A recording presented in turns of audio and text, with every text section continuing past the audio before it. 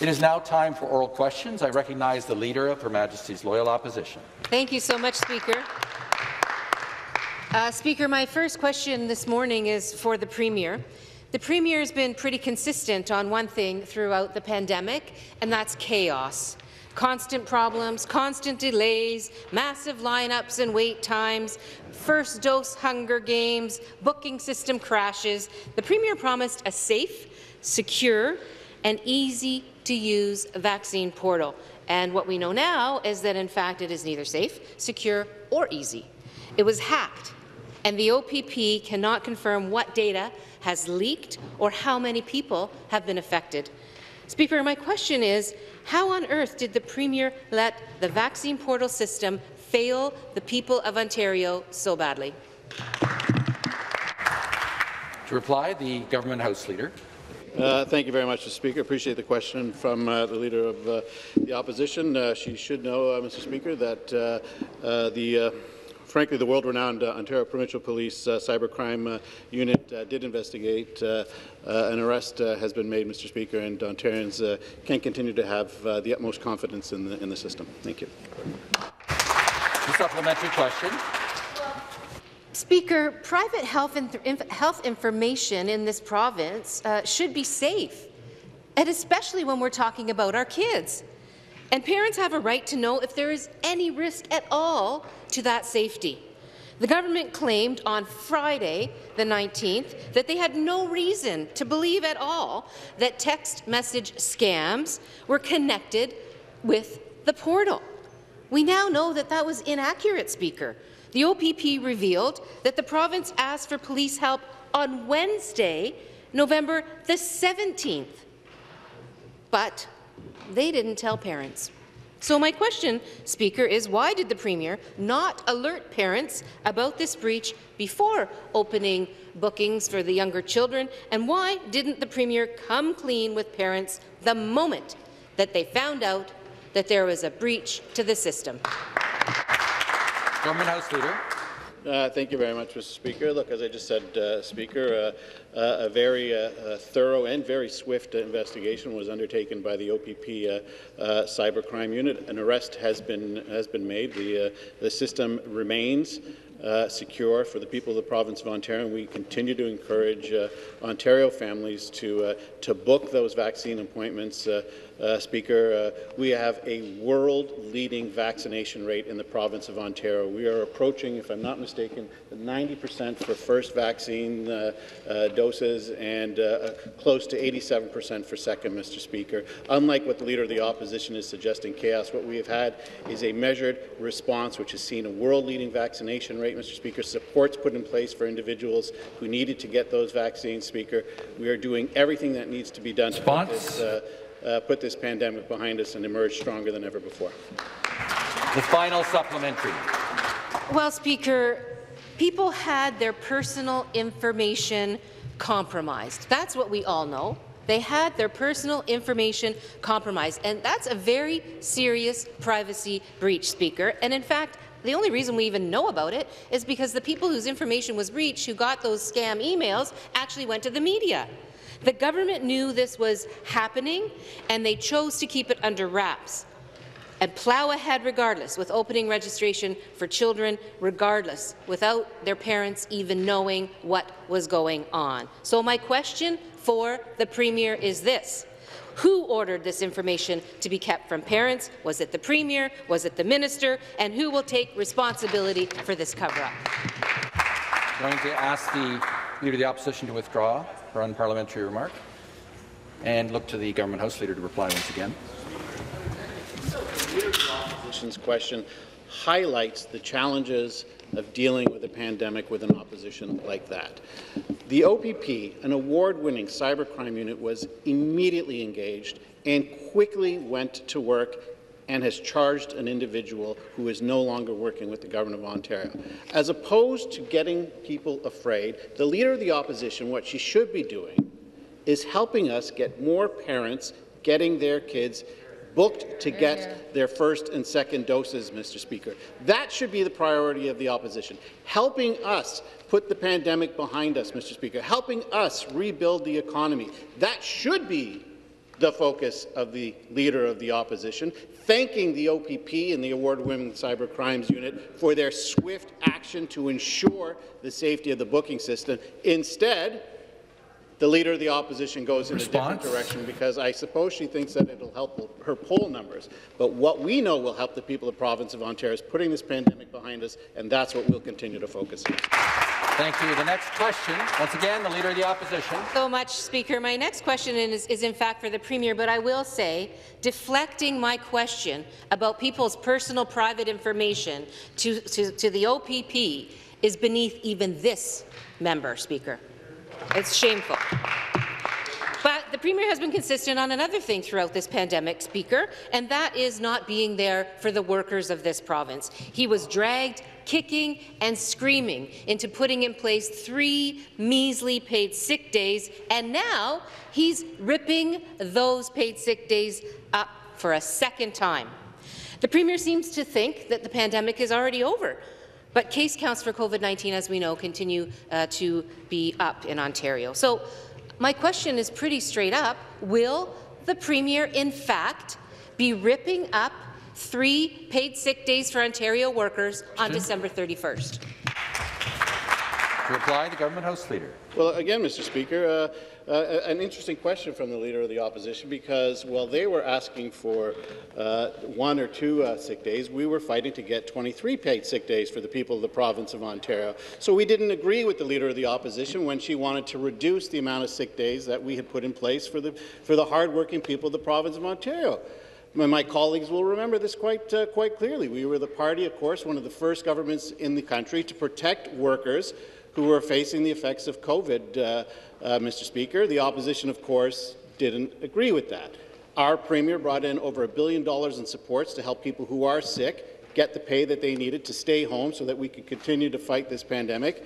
They wanted us to cut that, those, uh, those hours, Mr. Speaker. So what we'll continue to do is ensure that the people who work and who need uh, protection and who need support will have that support. That's why we brought in paid sick days. Bonds? We didn't put the burden on businesses like the opposition wanted us to do. We assume that responsibility because we thought that and continue to think that that is the right approach, Mr. Speaker. Supplementary question. Well, Speaker, perhaps the government House Leader would like to correct his record because, in fact, it's this government that 27 times voted against paid sick days, paid by the government, that we were recommending. Nonetheless, we know that it's flu season now, Speaker. Children, of course, are also just finally uh, getting their bookings for their COVID-19 vaccines, the littlest uh, children. Uh, more people, of course, are indoors, Speaker, as the weather gets colder, so more staff are at risk of getting sick. They need paid sick days to overcome any sickness to overcome any sickness and, and to heal themselves, to protect themselves, to protect the, their coworkers, to protect their families. So the question is, why is this Premier ripping up the three measly paid sick days that Ontarians have right now? Government House Leader. To be clear, Mr. Speaker, what we voted against was the opposition that wanted to put the burden on our small and medium job creators. We voted against that. What we voted against is an opposition that wanted to reduce those 23 sick days that our Premier negotiated with the Prime Minister, and they wanted to reduce that. Well, of course we weren't going to be cutting sick days for people, Mr. Speaker. And we've also said, and I guess uh, the Leader of the Opposition hasn't uh, uh, been brought up to date, but of course we also said that parents who need to take their kids to get these, their vaccine appointments can utilize the sick days that we have put in place, Mr. Speaker. So again, I encourage the Leader of the Opposition, work with us, help us get more parents booked so that more children can be protected and we can finally put this pandemic uh, behind us, Mr. Speaker, and we can continue to be the economic engine of the province of Ontario, of Canada, Mr. Speaker. That's what you should be working with, and I hope finally Bonds? you might help us build a bigger, better Ontario. Again, I'll remind members to make their comments through the chair. The final supplementary. This Premier and this government may be patting itself on the back, but the reality is we need permanent paid sick days in this province, and the government needs to get that done. Because that's exactly what getting things done for workers looks like, permanent paid sick days for our province. And as I said, it is flu season. It is getting colder out. People, uh, because of the weather, are being driven back indoors. Children's vaccines are just starting. The fact of the matter is people are going to start getting sick. That's the way it works in our climate, in our province. So the question again is to the Premier. Will he finally do the right thing? Will he commit today to real permanent paid sick days, to a real program of permanent paid sick days here in our province once and for all, and say that he is definitely not going to tear up for a second time the measly paid sick days that workers now have. Government House Leader. Uh, again, Mr. Speaker, these are measures that we brought in. The opposition, of course, voted against those measures, ostensibly because, Mr. Speaker, they didn't, uh, they didn't like the fact that we didn't think at a time of a global health and economic pandemic that our small and medium job creators should face the burden that would be associated with it. That's why we brought in measures to protect workers' paid sick days, that included the government offsetting those costs for these small businesses that have done so much, Mr. Speaker. So when the Leader of the Opposition asked us to put these paid sick days back on the backs of our small and medium large job creators at a time when they are just emerging uh, from this pandemic and all the hardships that they faced, I say very clearly to the Leader of the Opposition, no, we're not going to do that. We're going to continue to protect the people of the province of Ontario. When they asked us to reduce our sick days from 23 down to three, we said no. We want to work with the federal government to have a system that protects workers for the amount of time that they, they need, Mr. Speaker. We will continue Response? to protect workers. We'll let the Leader of the Opposition continue to vote against all of those measures, but the people of the province of Ontario know who they can trust to protect them. Next question, the member for Essex. Uh, thank you very much, Speaker. Uh, my question is to the Premier. Speaker, when asked about an Ontario developer who got caught trying to gouge their customers out of an extra $100,000, the Premier puffed up his chest and gave some surprisingly tough talk. I'll quote the Premier, Speaker. He says, nothing burns me up more than that. Some developer just trying to make an extra, extra money off the backs of hard-working people. It's unacceptable. Speaker, even I was surprised at the tough talk that the Premier uh, put out there. Speaker, but I agree with the Premier. Nothing would make me happier than to help the Premier throw the book at some of his developer buddies. So my question to the Premier is, uh, Premier, a YouTube clip does not constitute real action. So what is he going to do about the price gouging, and when's he going to finally act? And to reply, the Minister of Government and Consumer Services. Thank you very much, Mr. Speaker, for the opportunity to rise, and thank you to the member opposite for the question. And Mr. Speaker, if I may just take a moment and say uh, this is my first opportunity to be able to rise in the House as the Minister of Government and Consumer Services, and I'm very proud for this opportunity. Thank you. And I really want to take the opportunity to recognize all my excellent predecessors like Minister Thompson and uh, Ministers Walker and, and Smith as well for all the great work that they were doing and look forward to being able to follow in some, some very, very large footsteps, but looking forward to it all the same, Mr. Speaker. This is such an important question, and I really thank the member opposite for raising it. And as our Premier has very, very clearly and unequivocally stated, time and time and time again, we will not tolerate bad actors who take advantage of hard-working Ontarians. That is the most basic principle of our government for the people, and we are going to ensure that we continue Response? to do that, Mr. Speaker, and I look forward to, to further uh, embellishing and discussing this further. Thank you. Supplementary question. Speaker, uh, Speaker, if the Premier's uh, re-election strategy is to run on his record of saying one thing and doing absolutely nothing, uh, newsflash, uh, he's already lost. Speaker, we have seen this uh, before from the Premier. He's, quote, hitting the roof. He's outraged. He's mad as heck. He's going to come down like an 800-pound gorilla. He's got zero tolerance for this kind of nonsense, and he's coming after the price gougers, Speaker, but each and every time, whether it's people getting gouged he hasn't done any of that, so they're clapping for this, the Premier's non-action each and every time, whether it's on toilet paper or PPP, PPE or hydro rates or gas, gasoline or his buck of beer that never actually transpired. When it comes time to actually doing something, Speaker, the Premier is all talk and no action. Speaker, he says he wants to throw the book at price gougers, and uh, this would be a slam dunk for him. I'll even give him Question. an alley-oop, Speaker. If he needs, we can work together and introduce a motion here today to get this done. So will the Premier finally put his words into action, or is he ready to admit that he's just all bark and no bite? Minister of Government and Consumer Services. Thank you again, Mr. Speaker, and thank you again for the question. And as I indicated uh, earlier, I'm very, very uh, interested in being able to respond to this and expand upon my, my earlier uh, answer. You know, the Premier has been very clear. Order. We do not tolerate bad actors, and we will protect all of the hardworking Ontarians. And it is Member very, for very Essex, critical, come to order. Mr. Speaker absolutely critical that we continue to protect consumers, all consumers across all of Ontario, and we expect all condo developers to treat Ontarians who are purchasing pre-construction units fairly and with integrity. And I know the member opposite would, would say the same thing. Of course, we all want to ensure that we're treating consumers fairly, and we are looking into this, Mr. Speaker. I could tell you that there has been substantial work done in this area. Response? Already, consultations have been held. We're actually in the middle of two consultations right now to solve this issue, Mr. Speaker, because we will not tolerate bad actors Thank you very much. The next question, the member for Haliburton, Kawartha Lakes Brock. Thank you, Mr. Speaker. My question is to the Minister of Children and Women's Issues. Minister, the COVID-19 pandemic has left many families across Ontario dealing with a multitude of challenges. Sadly, for many women in the province, the pandemic has increased the frequency and severity of domestic violence, meaning that more women and children are living in fear and danger and are in need of support.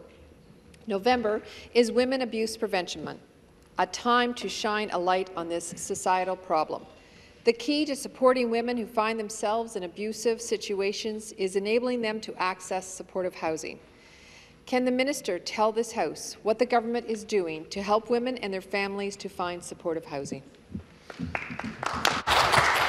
Minister of Children, Community and Social Services. Thank you, uh, Mr. Speaker, and I'd like to thank the member from Haliburton, Kawartha Lakes Brock for her important question and her very good work. Our government remains committed to doing all that we can to support victims of domestic violence, and that's why, as part of our 2021 budget, we are investing $18.5 million over three years for the Transitional Housing and Support Program. This program supports survivors of domestic violence and survivors of human trafficking to find and maintain affordable housing.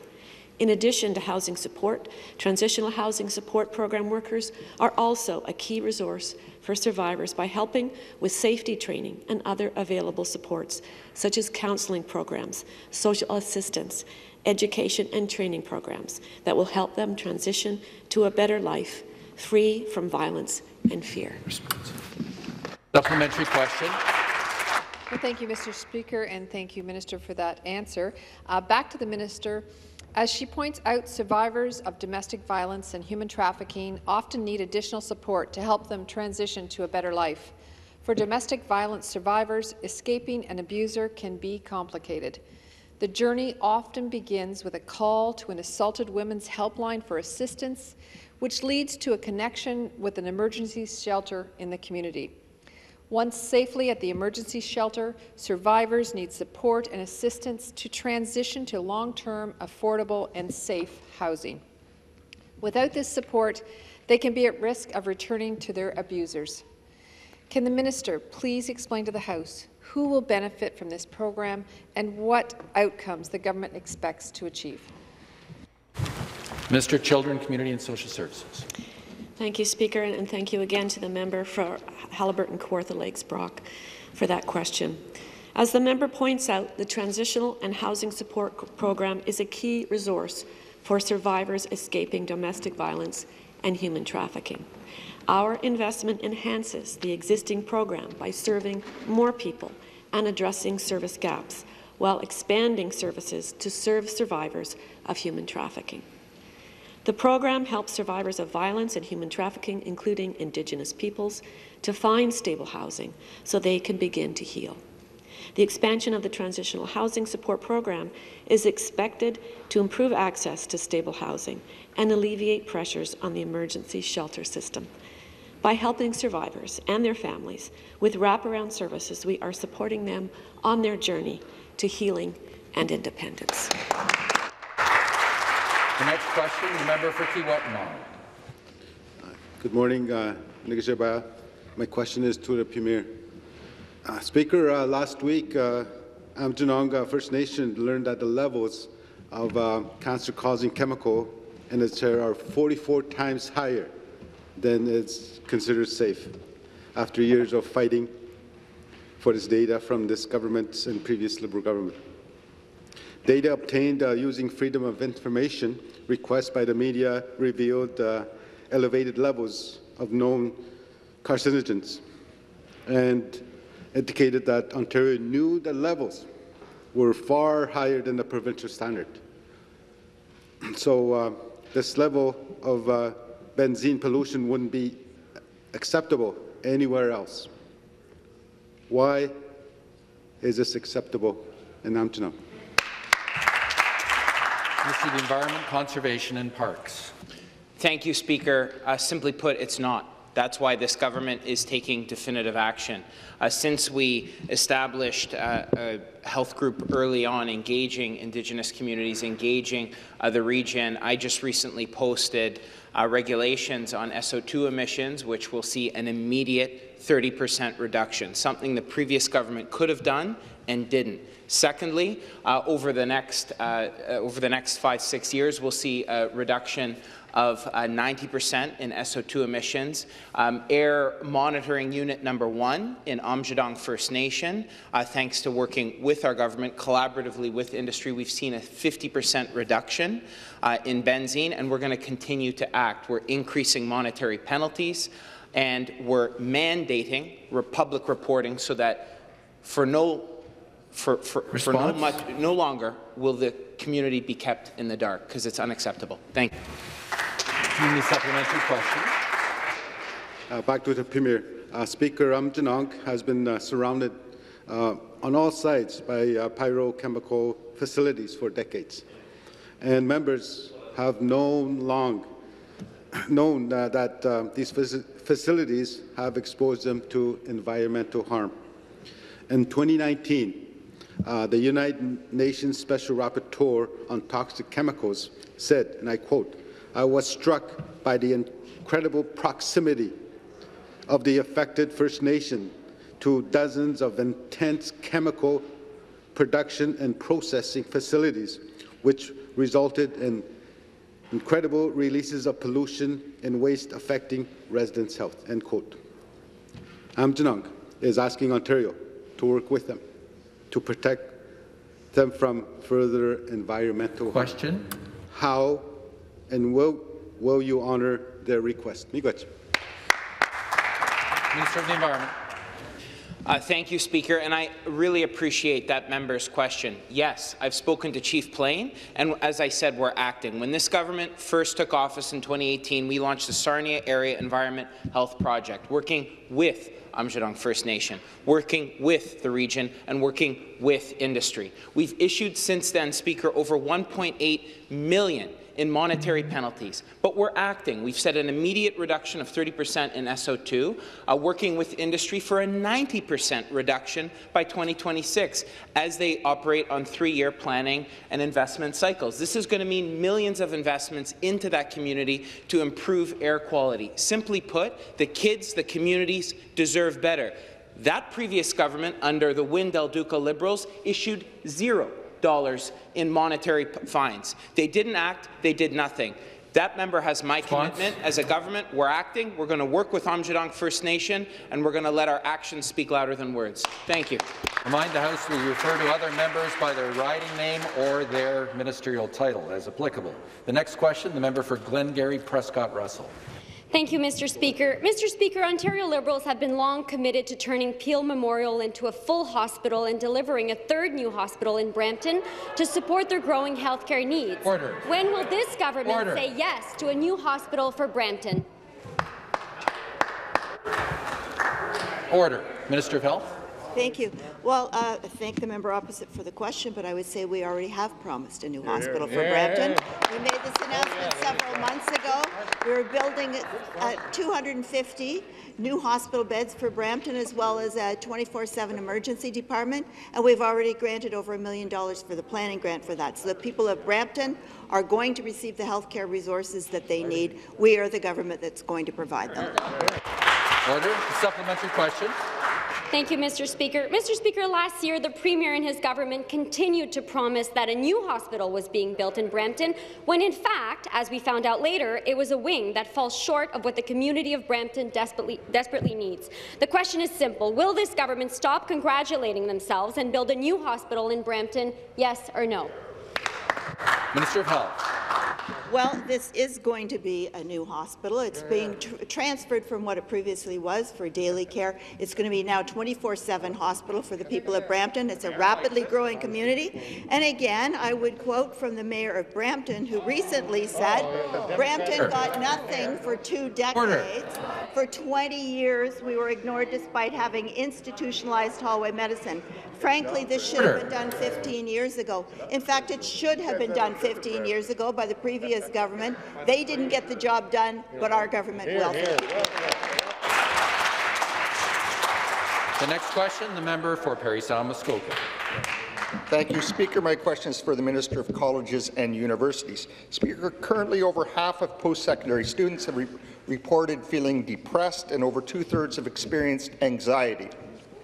New stresses caused by the pandemic mixed with the regular challenges of post-secondary education have led to an increase in poor mental health for students. Post-secondary students need greater support during these challenging times, and they need it now. So, Speaker, can the minister please tell the House what initiatives the government has taken to address the alarming rates of mental health seen in post-secondary students today? Thank you. Minister of Colleges and Universities. Uh, thank you, Mr. Speaker, and thank you to the member from Parry Sound, Muskoka, for highlighting such an important issue that's pressing and facing students these days.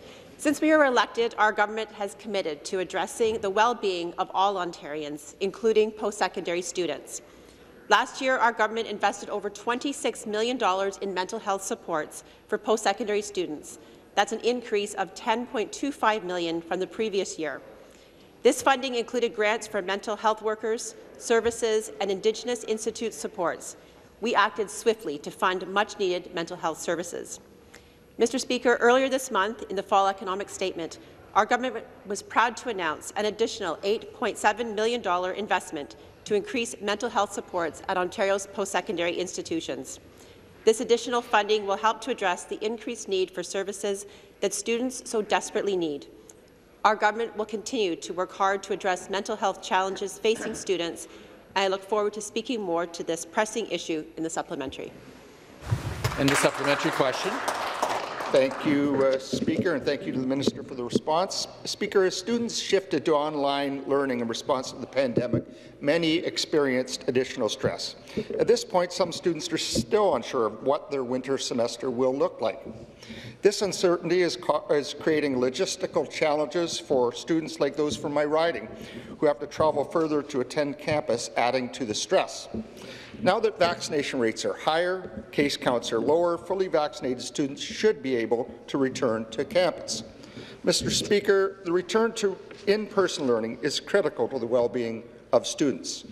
So, Speaker, can the minister please tell the House what the government is doing to get students back on campus for the winter semester? Mr. Colleges and Universities. Thank you, Mr. Speaker, and thank you again to the member for that question. As a mother of three daughters attending universities in Ontario, I have seen firsthand how students need to get back in the classroom and receive in-person instruction. In the fall, our government worked closely with the Ministry of Health, the Chief Medical Officer of Health, and post-secondary institutions to develop a reopening plan that worked for students. In September, schools proved that they had the capability to begin reopening with the proper health measures in place. I'm proud to say 96% of students and 95% of faculty are fully vaccinated. And with these high vaccination rates, we know students can safely transition to in-person learning. In recent weeks, students have been vocal in their frustration and lack of motivation with online learning, and we are listening. Students should not have to worry about the uncertainty around winter semester. That is why we are working with our post-secondary partners to provide support for institutions as they prepare for winter 2022 to open re safely reopen. Thank you. The next question, the member for Parkdale High Park. Thank you, Speaker. My questions to the Premier. My constituent Erin is a mother of young children, including an infant who cannot be vaccinated or wear a mask. Erin tells me she relies on her local pharmacy to pick up medications and diapers, often with her children in tow. Now she fears putting her baby at risk by attending to these vital needs in the same space where symptomatic people are being tested all day long. Will the government reverse their irresponsible decision that allows symptomatic COVID-19 testing out of pharmacies? Minister of Health. Well, thank you very much to the member for the question, but uh, I'm afraid we see things quite differently. What we need right now in Ontario is more places for people to be tested because with colder weather, we are seeing more people indoors. We are seeing the numbers go up, although the numbers in our intensive care units are remaining very low. But we need to have convenient places for people to go. If they feel that they may have COVID, they need to be tested. They have to have a, a, an entrance to go into. They're not going to be allowed to go in and do their regular shopping. They will go in to be tested, or they will have someone else pick up a test for them and, and then return it for them.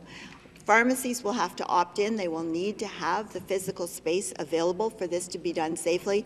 And there are very intense infection prevention and control measures that are in place to make sure that the other patrons of the store are also going to remain safe. Response. Supplementary question. Back to the minister. The Ford government allowing symptomatic COVID-19 testing in pharmacies has left everyday Ontarians exposed and afraid to access essential services. For my constituent Michael, his local pharmacy is now a symptomatic testing site, despite there being a hospital testing centre just a 10-minute walk away. Michael also says he and his family no longer feel safe picking up prescriptions and using pharmacy services. With this decision and with the response, the Minister of Health is essentially saying it's okay for people with COVID-19 symptoms to go to the same place where vulnerable people are. So my question to the Minister is, are you aware COVID-19 is airborne? Minister of Health. I can assure the member opposite that the policy that's put in, put in place for allowing pharmacies to opt in to this testing for both symptomatic and asymptomatic individuals is safe. There are dedicated protocols there. There are many measures to make sure that these protocols are going to be followed by the inspections that we have available, as well as by the College of Pharmacists, which holds the, the pharmacists to very high standards. It's also been approved by our Chief Medical Officer of Health and the epidemiologists that advise him. In fact, what Dr. Moore has said about symptomatic testing in pharmacies is this, and I quote, we absolutely anticipate a great partnership with our pharmacy experts and that they will be able to test in a safe manner within their facilities for those that have symptoms. We're working with Response? them to have the best infection prevention and control protocols in place to best protect their clients, but very much welcome their, their partnership. By the Chief Medical Officer. And the next question, the member for Durham. Thank you, Speaker. My question's for the Minister of Education. With so many young families moving to Clarington, we need to plan for the growth pressures in our schools. A number of Clarington elementary schools are already overflowing, and for years to come, we want to make sure our youngest learners have a great place to, to call home that's close to home and to start their education journey. I was pleased to see the minister yesterday announce new funding for building and improving schools. When will we find out if the North Glen School in Clarington is approved? Member for Niagara Western Parliamentary Assistant. Thank you very much, uh, Speaker. My thanks to the member from Durham for the question, and my thanks also for her advocacy. I know that this has been a project that she has been uh, advocating for for quite some time, and I know that the constituents in her riding uh, understand the importance of seeing modern, uh, safe schools being built across not just their region, but across Ontario. And that's why I was very pleased to see yesterday the Minister of Education join the Minister of Infrastructure to announce some $600 million in new capital planning projects. Absolutely. Very, very important to ensure uh, that our province is being built up after so many years of the former government's Liberal neglect, where we saw many schools uh, being closed across this province, over 600 schools. Our government is the government that is building schools in communities like yours. Supplementary question. Thank you, Speaker. I've always found the minister and his parliamentary assistant, as well as their ministry team, willing to listen when bringing East Durham concerns to their attention. Kawartha Pine Ridge District School Board already owns an 8.3 acre property that's incorporated as a school in the municipal plan near North Glen Park. On top of the school board, I have had many, many families contact me asking me to bring this to the ministry's attention. Don't you agree with parents and the school board that it's time for a new elementary school in Clarington? Member for Niagara West.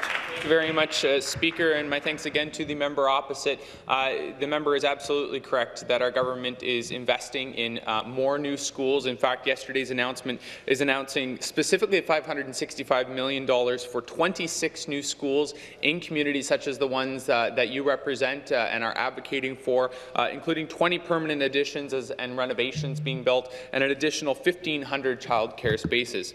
this is actually going to be adding about, in addition to these spaces, 19,700 student spaces. And so this speaks to the Minister of Education, uh, our Premier, uh, our Premier and the Ministry as a whole's commitment to ensuring that every single community in this province receives high-quality public education uh, and that they receive it in safe, modern, and technologically connected and accessible schools. So uh, I know that there'll Response? be more details coming out in the coming days about these particular projects that have been approved in this capital tranche, uh, and I anticipate uh, further conversations with. Thank you very much. And the next question, the member for Whitby. Uh, thank you, Speaker. My question is to the Minister of Agriculture, Food and Rural Affairs. Farming is not like other careers. It's truly a 365-day-a-year job with long hours and many stresses, unpredictable weather and difficult crop conditions, social isolation, heavy workloads, fluctuating markets and prices, labour challenges, and Speaker, throw in the ongoing pressures associated with COVID-19. The issues the farmers in my riding and across Ontario have to contend with can be overwhelming. Speaker, access to mental health resources in rural communities can also be difficult. Can the minister please explain what steps this government is taking to address mental health challenges faced by the farmers in my riding? Minister of Agriculture, Food and Rural Affairs. Thank you very much, Mr. Speaker, and I and I want to uh, thank the member from Whitby for this important question. You know, it wasn't too long ago where I had the opportunity to be north of Oshawa and Pickering uh, with both Minister Bethlenfalvy and MPP Coe and visiting on farm and seeing the dedication and the passion that is, you know, uh, absolutely indicative of the type of farmers we have across this province. And we need to demonstrate that we have their back as well. And that's why I'm very pleased to share with everyone that on Monday, we announced a $7 million multi-year program for uh, supports for farmers and their families to assist them with challenges because the member was absolutely right. What other sector has people committed to their profession 365 days a year. And those days Response? include challenges. So the two programs that we introduced on Monday will provide wellness supports that is part of a larger investment that I appreciate from Minister Tibollo and Minister Elliott in our... Thank you. Thank you. Supplementary question. Uh, thank you, Speaker, and back to the Minister. I'm pleased to hear that the government is investing millions of dollars to fund these mental health support programs. However, one of the major issues associated with mental health challenges is that people in need often don't reach out and consequently, Speaker, do not get the supports that they need. Compound that issue with farmers in my riding and across Ontario often working alone. They may not speak up at all, Speaker. Can the minister explain how the government is addressing this critical first step to support farmers in receiving the supports they so desperately need. Minister of Agriculture, Food and Rural Affairs. You know, the very astute because it, it ranges from cost of production to weather to market access. 365 days, Ontario farmers are working hard to produce good quality food close to everyone's home. And that's why we need to have their backs. And the 7 million multi-year program includes two particular programs, a farmer wellness initiative that will provide tailored, specialized support for farmers as well as their families. And I might say this is a very popular initiative and it's fashioned, it's modeled after initiatives that were introduced in Eastern Ontario by Deborah Van Berkel in Lennox, Addington and Hastings. And it, she has just led by example in this regard and her legacy is allowing us to build on that success and demonstrate that our government has farmers' backs all across Ontario. In addition to that particular program, we're also introducing a Guardians Network. Eh, it's a suicide prevention network, and it's all about training individuals to recognize farmers or farming families that could be at risk. And the, the volunteers that will be trained will be able to recognize Response? challenges and how farmers are dealing with those challenges. So this is great news for Ontario, and I'm very proud to be part of a government that stands with Thank you. The next question, member for Hamilton Mountain. Thank you, Speaker. My question is for the Premier. Speaker, today the Ford government is finally supposed to be back at the table with the feds to try and hammer out a deal for the long-delayed child care plan. The only problem, though, is, Speaker, is that the government still hasn't handed in their detailed proposal, and they still haven't given their action plan that the feds need to finalize the deal. Speaker, parents are struggling with the cost of living, and they need $10 a day affordable child care now, when the premier, not when the Premier gets around to negotiations. When is the Premier going to stop trying to run out the clock, try to stop doing the bare minimum, and finally get this deal done? Government House Leader. Mr. Speaker, it's actually the NDP who would seek to have us do the bare minimum. Speaker, what we have is a federal government that has uh, asked the province of Ontario to work with it to get to $10 a day childcare. Uh, we are working together to do that, Mr. Speaker. The federal government put an initial offer on the table. Uh, we explained to them that it did not get us to the $10 a day childcare. That was the goal of the program. The federal government didn't come to us and say, well, it's a take it or leave it offer they came back and said, let us know what the differences are in the province of Ontario and how we get to that $10 a day. So unlike the NDP that would have just accepted what the federal government put on the table first, even though the federal government wants to do more, the NDP said, no. You know what the NDP are like, Mr. Speaker. They're that, they're that couple that invites you out to dinner and then forgets their wallet, Mr. Speaker. That's what they are. What we're going to do is we're going to get $10 a day child care for families in the province of Ontario by working with our partners, despite the fact that they're unwilling to do that. Supplementary. Speaker, every day this government continues to drag their feet and try to run out the clock. It is costing parents thousands of dollars out of their pocket, and it costs our economy even more. Ontarians have suffered enough, and the fact that the Premier couldn't even be bothered to do his homework before today's meeting shows that he really doesn't even care about getting a deal, but he is going to do everything he can do to stop it. If he's not willing to do the work, to get a deal, then he needs to get out of the way because there is too much at stake for Ontario families and our economy. Speaker, Conservative premiers in Saskatchewan, Manitoba, and even Jason Kenney in Alberta managed to get their own pettiness out of the way and get a deal for $10 a day affordable childcare. Why can't this Conservative premier do the same thing for Ontario families? Members will please take their seats. Government House Leader. Speaker, every single day, you know, you try to help them. You, you really do. You try to help the NDP understand how governments function and how to work with other people, but they just don't get it. So what the NDP are telling the people of the province of Order. Ontario is that despite the fact that we have a partner that wants to help us get to $10 a day childcare. despite that fact, we should say, no, we don't want those extra resources. Forget about the differences. Let's just sign any deal.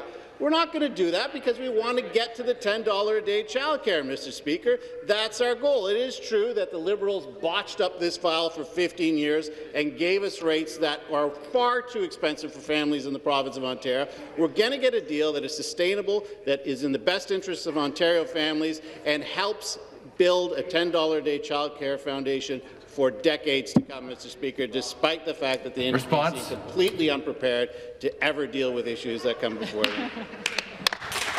Question, the member for Ottawa Vanier. Thank you, Mr. Speaker, and I just got a little taste of the, the answer I'm going to be getting. So, Mr. Speaker, childcare in Toronto costs nearly $19,000 per year. People on minimum wage earn $27,000 per year. The Minister of Education acknowledges that childcare is inaccessible and unaffordable, yet we've been waiting endlessly for a $10 a day childcare that is preventing parents, mostly women, to join the workforce. The government wants more money for a longer period than other provinces. That's why it's making the deal so hard to negotiate. The federal government has been asking for an action plan that is not being provided, as been mentioned. Lack of plan sounds familiar? So my question is, why is it taking so long for the government to provide a plan and negotiate a deal on childcare for the Question. benefit of Ontarian families and to the benefit of our economy? Government House Leader.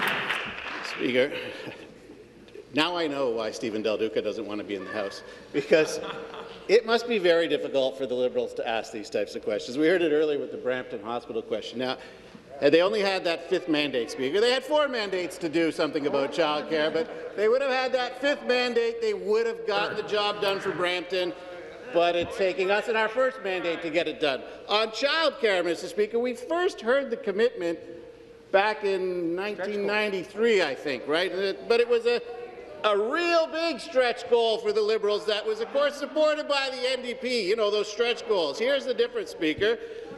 A progressive Conservative government is going to deliver on affordable childcare. Just like a progressive Conservative Order. government delivered on public health care. Just like a progressive Conservative government delivered subways to the province of Ontario, Mr. Speaker. It is a progressive Conservative government that delivers constantly, and we will deliver for the families of Ontario.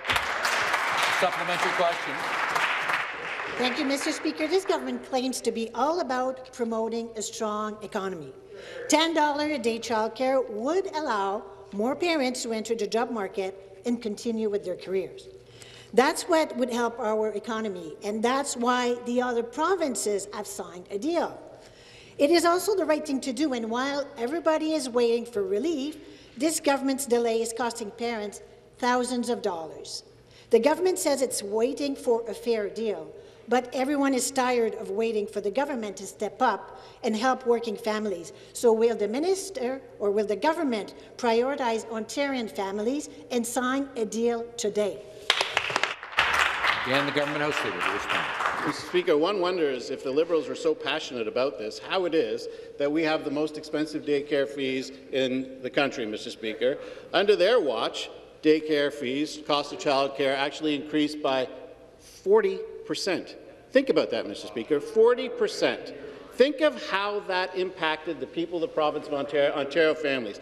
Put on top of that, Mr. Speaker, the fact that we had the most expensive hydroelectricity rates in the entire country. Put on top of that the fact, Mr. Speaker, that thousands of jobs were being lost because of the policies that they brought in place, Mr. Speaker. But here's one thing I know.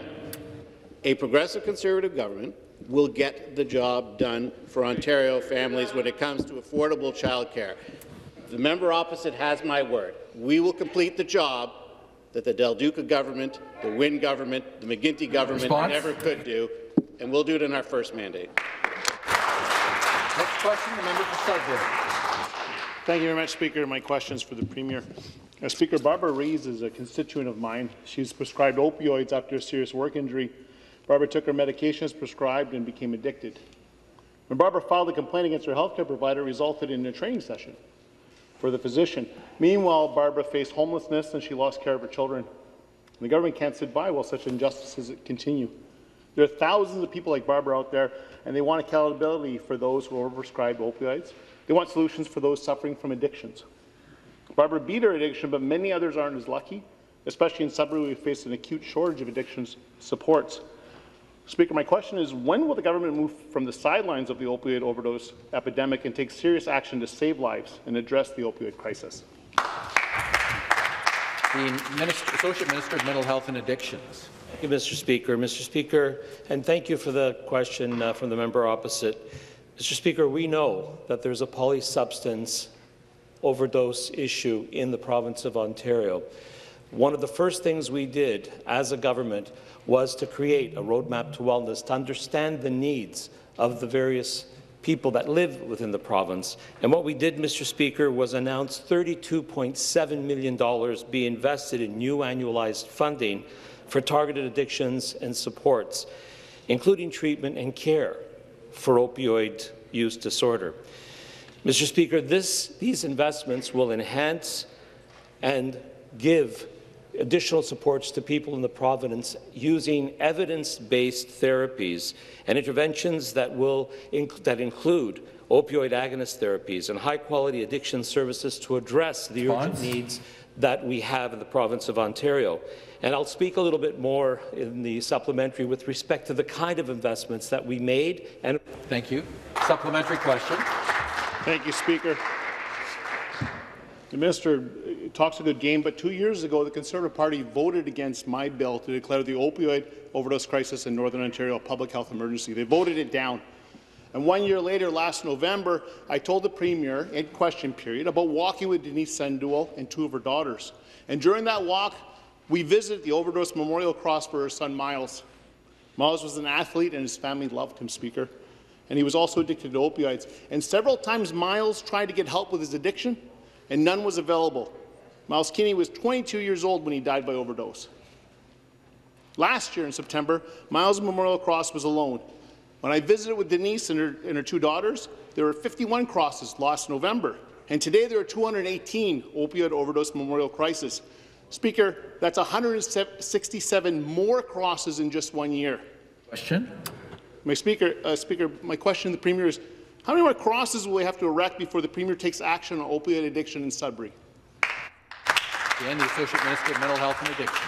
Thank you, Mr. Speaker. And once again, to reiterate the position of the government, investments are being made, and we are addressing the issues in Northern Ontario, in rural Ontario, in Here, Southern Ontario. And, Mr. Speaker, this year we were proud to invest another $175 million for mental health and addiction services that build on previous investments that this government has made and is continuing to make, to the tune now of $525 million in annualized funding. Through the funding, we announced the $32.7 million, and it's targeted to addiction services and supports across the province, including treatment for opioid addictions. That includes $13 million in new annual funding to address urgent gaps across the continuum of care in Northern Ontario.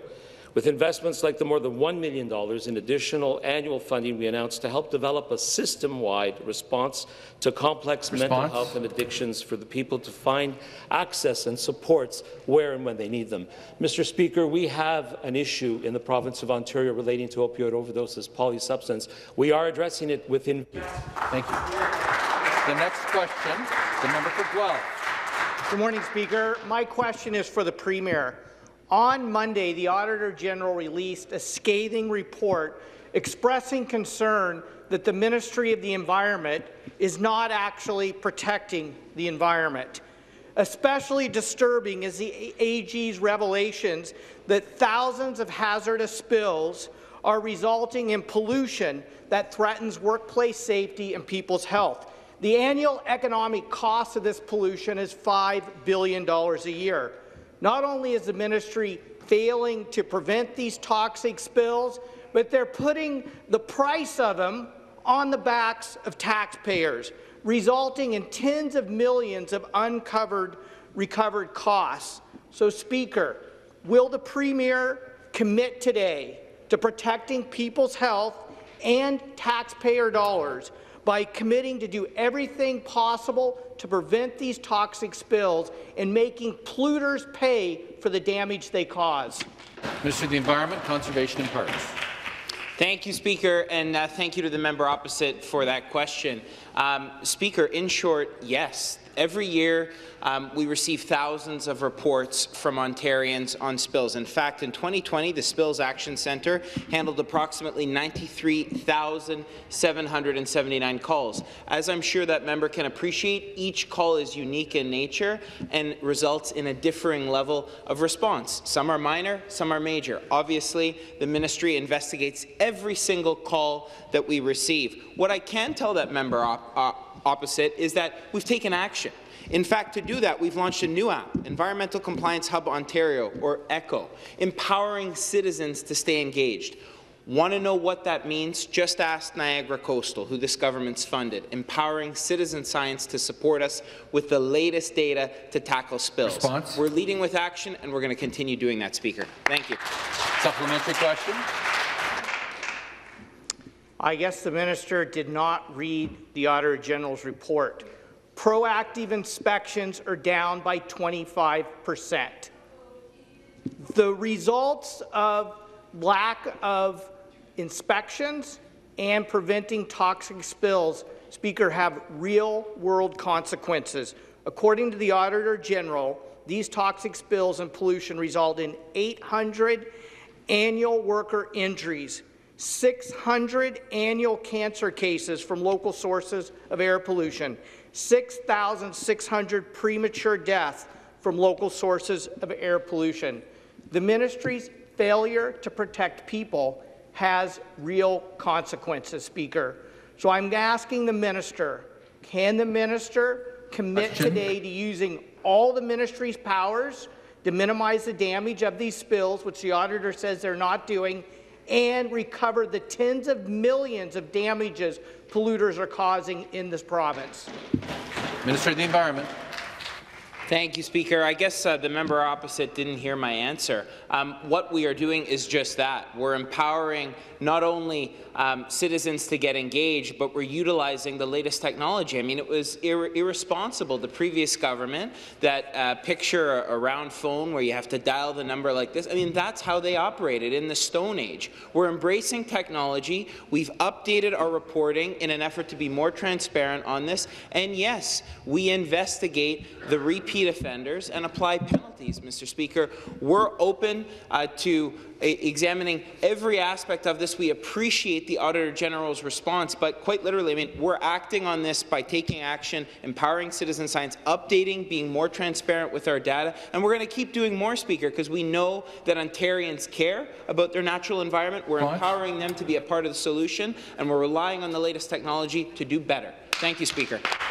Next question, the member for Brampton East. Thank you, Speaker. My question is to the Premier. Brampton is a city of almost 700,000 people, and we are struggling with a healthcare crisis that was declared before COVID-19 and has become far worse with the pandemic. But instead of fixing this crisis, the Premier is using it to play political games. He made an empty election promise to build another hospital in Brampton without a dollar in the budget or in the fall economic statement. There are not even plans to bring a 24-hour emergency room to Peel Memorial Health Centre. Enough is enough. The people of Brampton are done with the Conservative government's political games with our healthcare crisis. Will the Conservative government commit today to ensuring that Peel Memorial Health Centre is converted to a hospital with a 24-hour emergency room, 24 hours, and with the amount of beds that our community needs. Minister of Health. Thank you very much, Speaker, and thank you to the member opposite for the question. Our government is certainly well aware of the needs of the people of Brampton. It's a fast-growing community, and two members of our government, the member from Brampton South and Brampton West, have been advocates for their community, strong advocates for the community, and we're very grateful for that. And what's happened, though, is for 15 years, the needs of Brampton were neglected by the previous government. We're not going to do that. We are uh, agreed that Brampton does need another hospital. We have already put $1.5 million in to support the planning for the emergency department, Order. which will Order. be 24-7, as well as an additional 250 beds. But again, I'd like to quote from the mayor of Brampton, who said this, and I quote, "We're getting $1 billion, the largest investment in Response? healthcare in our city's history. This is a significant step forward. This is progress, and I don't think there is any mayor in Canada that would not be elated with a $1 billion investment in their community. Thank you. Thank you. And the supplementary question. Back to the Premier. The Conservative government will quote from the Mayor of Brampton, but let's quote from the Premier of Ontario, who came to Brampton himself and admitted that there are no plans to build a hospital in Brampton until 2023. That's after next year's election. Instead of coming to, to Brampton to end our healthcare crisis, and ending hallway medicine in Brampton, where thousands side, of people are order. treated every single year in the hallway, the Premier came to Brampton and did a political pre-campaign stop and made, ele- and made empty election Government side, come to order. our city's healthcare crisis. Will the Premier stop paying, playing political games with Brampton's healthcare crisis? And will he commit today to making sure that Brampton has three fully funded hospitals? Once again, the government side must come to order. The Minister of Health. Well, uh, with respect, um, newsflash to the member opposite, it takes longer than a year to build a hospital. uh, this is a process that requires detailed planning. There has already been $1.5 million advanced to support the planning for the emergency department. There are active negotiations that are going on between the uh, people at the hospital and the people within the Ministry of Health. This is a project that is going to go forward. We have made a commitment, and we fulfill our commitments to make sure that this is a 24/7 emergency department and 250 new beds for the people of Brampton. They deserve it, and we will deliver it for them. That concludes our question period for this morning. Beg